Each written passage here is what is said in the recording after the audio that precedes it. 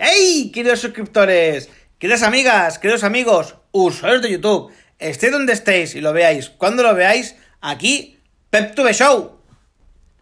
Hoy vamos a convertir archivos Pages a PDF. ¡Vamos allá!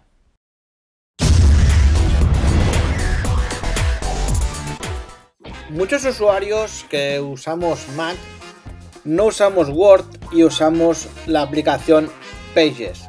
Es una aplicación que está optimizada para el sistema operativo de Mac y eh, en particular yo algunas veces eh, lo he tenido que pasar a PDF. La primera vez que lo tuve que hacer me volví loco, aunque sea un poco tontería, pero no lo supe hacer. Y aquí os lo voy a enseñar a hacer. Abrimos el, archivo de, Pages. Es un archivo cualquiera, no importa que lo leáis porque es un archivo que, ya está hecho, ¿vale? Y para pasarlo a Pages, lo que haremos será, cuando ya sepamos que, lo tenemos que guardar, iremos a Archivo, en Exportar, le daremos a la opción PDF Aquí podemos elegir Word, EPUB, esa, etcétera, ¿no? Pero a nosotros nos interesa PDF. Este archivo ya lo teníamos hecho y lo vamos a reguardar, o sea, guardar otra vez, ¿vale? No sé si es esa la palabra o no.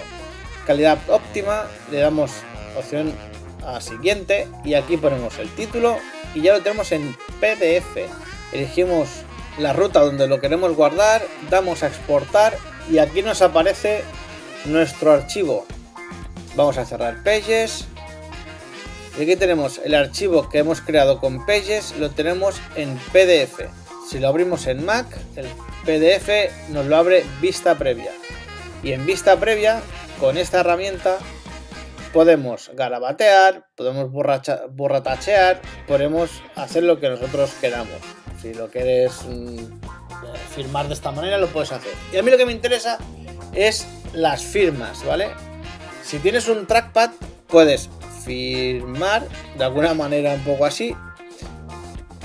Cuando consigues hacer la firma más o menos bien hecha, esta no es mi firma, como podéis imaginar, dais a aceptar y una vez eh, aceptéis la firma, cogiéndola la podéis colocar en cualquier sitio del documento. Y así es como firmaremos un documento con vista previa en formato PDF. Podéis poner las firmas que vosotros queráis. Podéis añadir todas las firmas que vosotros queráis desde el icono de añadir firma.